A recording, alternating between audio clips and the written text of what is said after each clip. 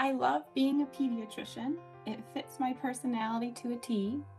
It combines both teaching and also building relationships and also improving the outcome. I love getting to meet, you know, a newborn and their family and watching that little one grow and helping them be the best person they can be.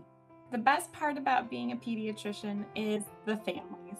You know, watching the interaction between the parents and the children and watching them grow together. And I'm not just there for the patient, I'm there for the whole family.